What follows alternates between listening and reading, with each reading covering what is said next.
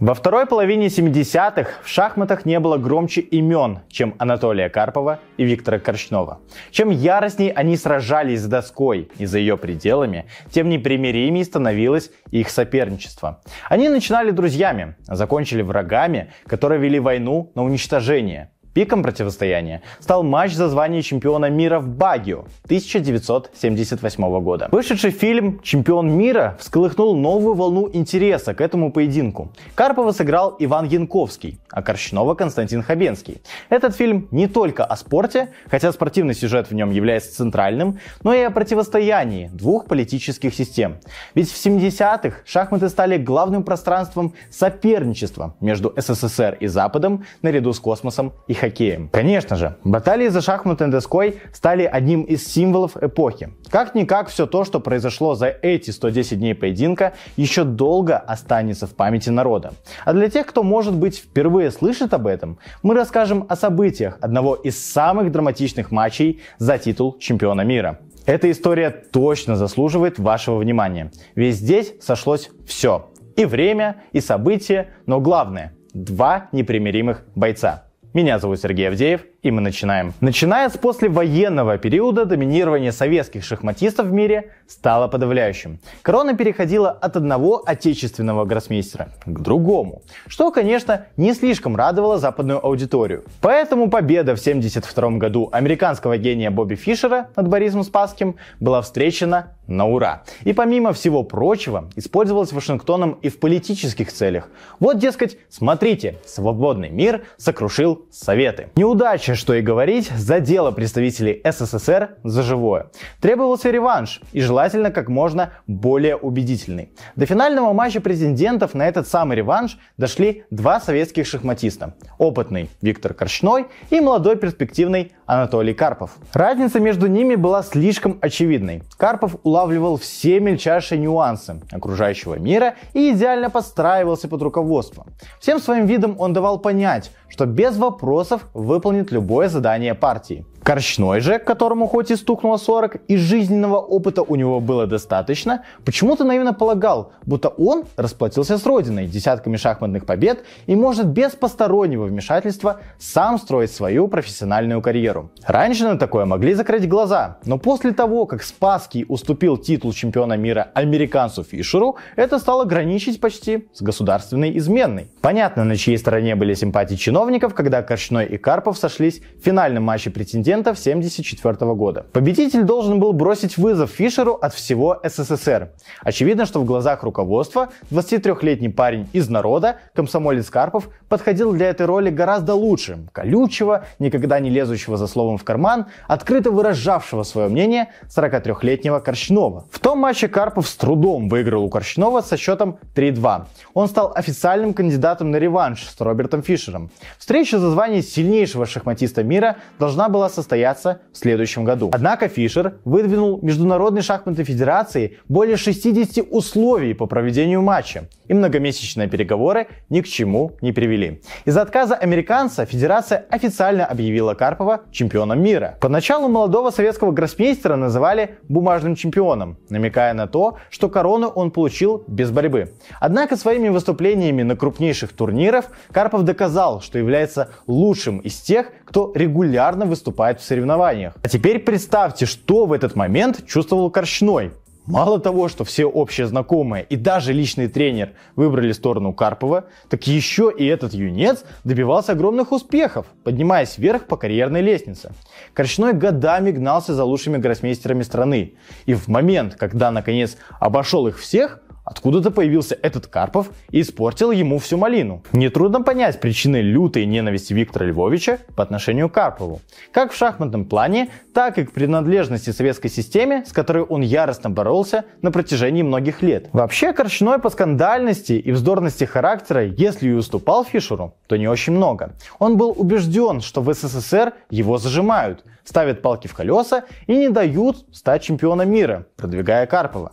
Поэтому в 76-м Корчной отказался возвращаться в СССР после турнира в Нидерландах. Едва оказавшись вне железного занавеса, он принялся давать одно интервью за другим, обнажив все прелести советской шахматной системы и пообещал, теперь-то Никто и ничто не помешает ему свалить Карпова.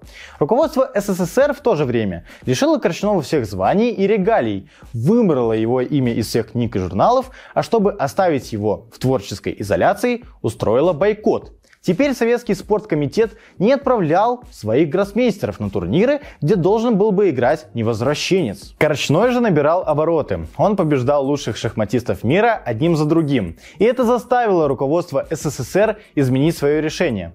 В бой с представителем отправились Тигран Петросян, Лев Полугаевский и Борис Спасский. Но не тут-то было. Корчной блестяще и без всякого труда справился с ними и получил право на матч за мировую корону и на горизонте вновь появился Карпов. В СССР все было поставлено на карту. Речь шла уже не только о шахматном доминировании, а о превосходстве социалистического лагеря над капиталистическим миром. Если судить по многочисленным книгам, заметкам и материалам, которые появились позже, против Корчнова работала настоящая советская машина. И не спортивная, а уже политическое. Корочной прекрасно понимал, что советское спортивное руководство готово пойти почти на все, что угодно, дабы обеспечить победу Карпову. Но в то же время Виктор Львович понимал, что такой расклад дает ему право рассчитывать на поддержку всех, кто недолюбливает Советский Союз. Помимо всего прочего, на этом можно было и неплохо заработать. В команду Корчнова входили англичане Майкл Стин и Рой Кин и бывший советский мастер Яков Мурой. А в качестве руководителя команды, пресс-атташе и главного защитника Корчнова выступила его будущая жена Петра Леверик. В свое время она получила 10 лет сталинских лагерей и навсегда возненавидела представителей страны Советов. В тренерский штаб Карпова входили многие ведущие гроссмейстеры страны, включая Таля Полугаевского и Юрия Балашова. Привлекли к работе и Владимира Зухаря. Страна Корчнова называла его известным парапсихологом, который помогал Карпову и негативно воздействовал на претендента. Как выяснилось позже, он был высококлассным специалистом по космической медицине и должен был помочь Карпову решить проблему сна. То, что страсти будут кипеть не только на шахматной доске, стало ясно еще до начала матча. Корчной хотел играть под флагом Швейцарии, однако советская делегация указала, что гражданства этой страны у перебежчика нет. Разбирательства закончились тем, что маленькие флаги, которые обычно ставят на игровой стол, убрали совсем. На матч в Багио Корчной выходил как на последний бой, как на матч всей жизни. Особый настрой был и у Карпова. С одной стороны, он на деле хотел доказать, что не является бумажным чемпионом, как его порой называли недруги. А с другой, надо было отстоять честь страны и знаменитой шахматной школы. Уже во второй партии матча Корчной предъявил Карпову претензии за кефир. В ходе игры чемпионы подали стаканчик с кефиром, сделав это с некоторым нарушением регламента. Корчной разозлился, мол, помощники Карпова сигнализируют ему, какой делать ход. А потом и вовсе потребовал проверить кефир на химический состав. Мол, Карпов после него начинал играть как заведенный. Представители сторон, судьи и организаторы долго судили и обсуждали этот инцидент, но установили порядок подачи напитка Карпову в дальнейшем. Репортеры были в восторге. На подобные происшествия с интересом реагировала даже публика, крайне далекая от шахмат. Советская пресса даже назвала этот случай бурей в стакане кефира. Карпова в то же время раздражало то, что с первой игры Корчной носил зеркальные очки и продолжал их надевать в некоторых из следующих игр. Но Виктор Львович объяснил это тем, что его беспокоит привычка Карпова пристально смотреть на своего соперника. Поэтому в Багио он носил очки, чтобы скрыть глаза. Карпов писал, Солнцезащитные очки были как два зеркала, и всякий раз, когда Корчной поднимал голову, свет от многочисленных ламп на сцене отражался мне в глаза. Первые семь партий матча в Багио закончились в ничью, но после первых поражений Корчной заявил, что в четвертом ряду сидит парапсихолог Зухарь, который готовит космонавтов к встрече с инопланетянами, а на игре неестественно дрожал и изо всех сил таращил глаза на двух шахматистов. И как после такого можно играть? Он потребовал установить между сценой и залом зеркальный экран. Иначе продолжение матча невозможно. Как ни странно, такой нестандартный ход претендента подействовал. Прежде глухие ко всем его требованиям и просьбам организаторы внезапно предложили сторонам джентльменское соглашение. Советские уберут Зухаря, а Корчной же в ответ снимает требования экрана и зеркальные очки. Карпову тоже было чем ответить на выходки Корчнова. Он потребовал проверить кресло Виктора Львовича на наличие посторонних предметов или запрещенных устройств. Кресло в итоге разобрали, сделали рентген в больнице общего профиля Багио, и почистили. Корчной посчитал эти обвинения оскорбительными и пожаловался на то, что Карпов крутится в кресле и мешает сосредоточиться. Карпов в итоге перестал вертеться во время хода Корчнова лишь к 16-й партии. Перед началом очередной партии чемпион отказался пожимать Корчному руку. Виктор Львович обратился к судьям. Что, мол, за неуважение? Арбитры поинтересовались у Карпова, что происходит. Анатолий Евгеньевич заявил, что рукопожатие обязательным не является. Как потом выяснилось, не выдержал Карпов оскорблений, которыми обильно сыпал Корчной в своих интервью. Но и это было еще не все. Корчной, если позиция на доске складывалась не в его пользу, мог запросто обматерить соперника.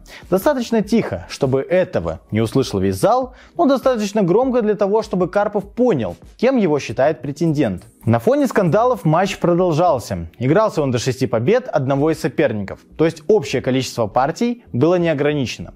После победы Карпова в 17-й партии счет стал 4-1 в его пользу, и Корчной снова начал чудить. Он пригласил на помощь американских йогов Стивена Дайера и Викторию Шепард. Журналисты выяснили, что американцы проходят по делу о покушении на индийского дипломата в Маниле и выпущенной из тюрьмы по залог. Советская делегация заявила протест. Присутствие террористов в зале является событием из ряда вон выходящим. Сомнительных персон выставили из игрового зала, но Корчной взбодрился и стал выигрывать, сокращая разрыв в счете. Оказавшись на краю пропасти, он начал действовать энергично и агрессивно. Неожиданно Виктор Львович одержал три победы в четырех партиях, и перед заключительным поединком счет стал равным 5-5. Казалось, до окончательного триумфа рукой подать. Но Карпов к этому времени был физически и эмоционально измотан. У него пропал сон. А коварство безлимитного матча как раз в том, что здесь невозможно переждать и добиться успеха за счет ничьих. У Карпова была возможность взять тайм-аут. И он этим воспользовался. Перерыв позволил чемпиону перезарядить батарейки, и на 32-ю партию он вышел бодрым и готовым к борьбе. Это стало неприятным сюрпризом для Корчнова, который был убежден в том, что его соперник сломлен. Впоследствии Виктор Львович заявлял, что во всем опять виноват доктор Зухарь. А еще некий помощник самого Корчнова, сливший Карпову информацию о том, какой дебют разыграет претендент. Партия была отложена на 42-м ходу белых, которыми играл Карпов. Позиция Корчнова была проигрышной, и на наигрывание он решил не выходить. Полдень 18 октября 1978 года в гостиничный номер Карпова постучали арбитры матча и представители ФИДЕ. Они принесли конверт с запиской Корчнова, в которой он признавал поражение в 32-й партии. Матч завершился со счетом 6-5 в пользу Анатолия Карпова ему удалось сохранить шахматную корону для СССР. Корчной так и не смог оправиться от удара в матче, на который он сделал слишком большую ставку ценой в жизнь. Потом еще будут победы на турнирах, воссоединение с семьей, уважение коллег, возвращение, приезды в Россию и почитание не одним поколением любителей шахмат. Не будет только одного – шанса прикоснуться к мировой короне, от которой его отделяли считанные ходы. Матч в Багио стал трагедией жизни одинокого, отвергнутого родной стороной, фанатично преданного шахматам человека. А Анатолий Карпов, который защитил звание чемпиона от антисоветчика и врага народа и не позволил увести шахматную корону из СССР в Европу, стал одним из главных героев советского спорта. Для него устроили церемонию чествования в Кремле. Генеральный секретарь ЦК КПСС Леонид Ильич Брежнев лично вручил ему орден Трудового Красного Знамени. Надо признать, Карпов и Корчной своим сражением с политическим подтекстом раскрутили популярность шахмат в мире до высочайшего уровня. Скажите, а вас заинтересовала эта история? Появилось желание посмотреть фильм? Пишите в комментариях. Ну а я прощаюсь с вами. Спасибо за внимание и до скорых встреч.